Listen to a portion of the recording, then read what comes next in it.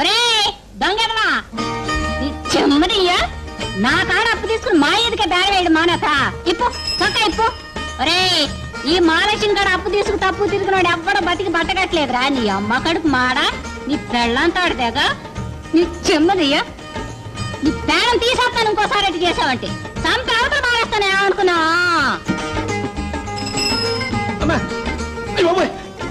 ఏంటది గడ్డం అనుకున్నావు పొలం అనుకున్నావా నాకు చేసిన అదే పనిగా.